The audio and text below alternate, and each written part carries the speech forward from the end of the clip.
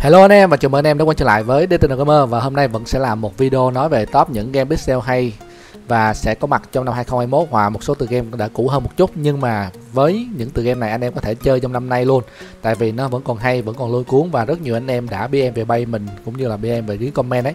Thì nói những tựa game này rất hay anh ơi, giới thiệu đi và đưa vào trong top 5 game. Rất cảm ơn những anh em nào đã đưa cho mình ý tưởng cũng như giới thiệu mình những tựa game pixel hay nhé, để mình làm top game à, nhờ rất nhiều anh em trên kênh của mình mà mình cũng đã biết thêm rất nhiều game nữa. Rất cảm ơn anh em nhé. Đó là một điều rất là tuyệt vời. Chúng ta có thể giúp đỡ nhau để phát triển cái game pixel ở Việt Nam ha.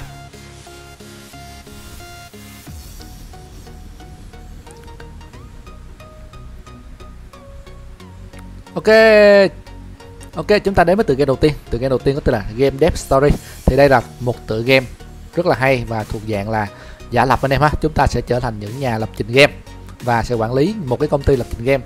Và từ game này mình uh, xin giới thiệu sơ sơ thì game này nó uh, được sáng tạo bởi một nhà phát hành game rất nổi tiếng đó là Kairosoft và bên kênh mình với lại kênh tổ mình phát hiện ra là có rất nhiều người anh em thích game của Kairosoft và mình cũng mới làm một cái top 5 game của Kairosoft đấy. Hy vọng anh em xem ủng hộ nhé nếu anh em muốn xem thì mình sẽ để lại dưới phần mô tả. Thì Kairosoft là một cái hãng game của Nhật Bản và chuyên làm những game về quản lý và cũng như là giả lập. Ví dụ như giả lập làm nông trại giả lập thu hoạch giả lập trồng cá nuôi cá trồng cá mới phải nồi chứ. Nuôi cá này à, giả lập làm khu du lịch này giả lập làm khu cắm trại rất nhiều thứ giả lập giả lập. Và những cái game của nó thì thời gian đầu anh em chơi nên sẽ thấy cảm giác hơi khó chịu khi chỉ có lít lít lít lít thôi nhưng mà về sau thì anh em chơi nó sẽ có những sự lôi cuốn. Và đây là một tựa game cũng như vậy. Thì game này anh em sẽ làm một công ty game và game này thậm chí có việt hóa nữa. Và có một team khác việt hóa. Ha rất là hay và việt hóa cũng rất là chuẩn nên anh em có thể tải và chơi thử thì game này à, có giá hình như là mấy đô đấy nhưng mà anh em có thể tải APK để chơi thử nhé Ok chúng ta đến với tựa game thứ hai một tựa game hành động và nhập vai nhé một chút RPG nữa có tên là Dash Ride thì đây là một tựa game được giới thiệu bởi thằng em của mình ha. Thì uh, tựa game này mình đã giới thiệu trong một video trước nhưng mà mấy bạn gần đây cảm giác như là kêu bảo là mình sao chưa giới thiệu game này. Thì uh, sẵn thì mình cũng giới thiệu lại tại vì hôm nay mình có chơi sâu hơn một chút thì thấy game khá là hay và đặc biệt là nếu như anh em chơi trên điện thoại nó sẽ hay hơn là chơi trên giả lập. Chơi giả lập thì nó điều khiển hơi khó. Và nếu như anh em chơi trên cái uh, điện thoại á, thì anh em di chuyển nhanh chóng á, nó làm anh em rất là cuốn rất là đã.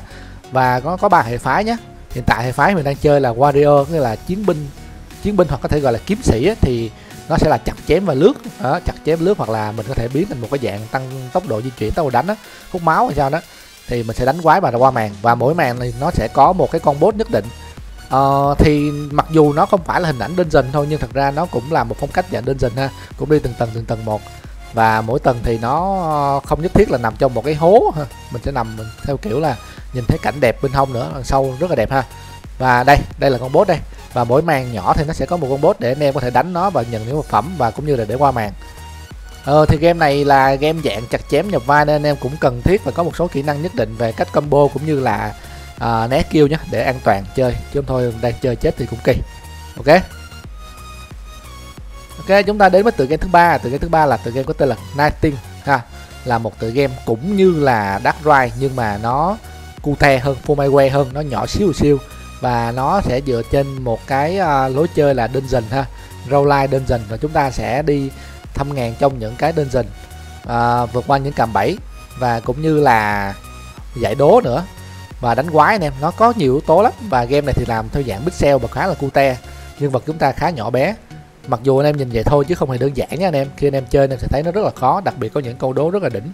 Và anh em phải tìm những cái dữ kiện ở trong cái uh, map để có thể mở được. Và game này thì nó làm cho mình liên tưởng đến Forager nhưng mà hình ảnh thì nó nó nó bá đạo hơn chút. Forager thì hình đẹp hơn nhưng mà game này thì nó lại thú vị hơn. Đó.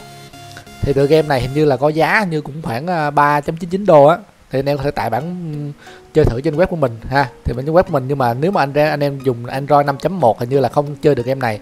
Nó yêu cầu Android phải nó trên 5.1 nhé thì game này có cấu hình rất nhẹ nhàng và như chỉ có khoảng ờ, uh, 40 mê thôi. Cho anh em cài vào chơi rất là hay. Đấy đây là một tựa game anh em nên chơi thử.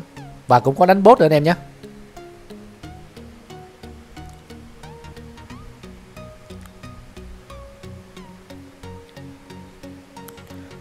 Ok, chúng ta đến với tựa game thứ tư có tên là Warp Journey. Ừ, Warp Journey.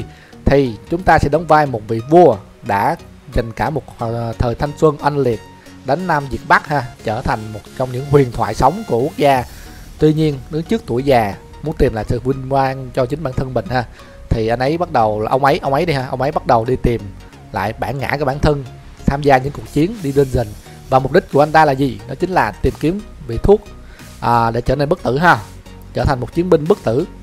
Đấy một phần thì à, cũng vì đam mê đi đánh nhau thôi một phần thì muốn trở nên bất tử.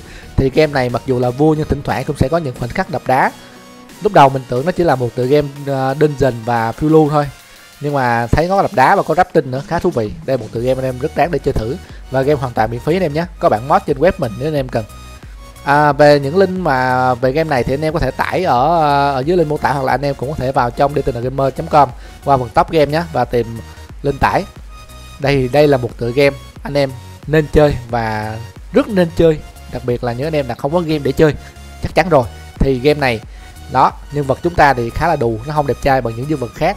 Tuy nhiên là cái độ mà linh hoạt của anh ấy vẫn rất là ok đúng là một vị vua ha vua vua thường mà vua già rồi thường nó phải chậm chạp chứ ông này linh hoạt vậy hơi điêu đấy.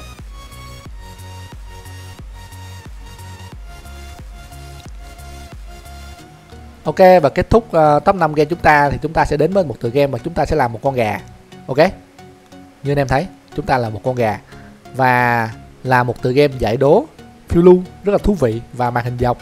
Và cách để chúng ta giải đố cũng rất là buồn cười. Chúng ta sẽ làm một con gà và tìm cách làm được một ngọn tháp cao nhất.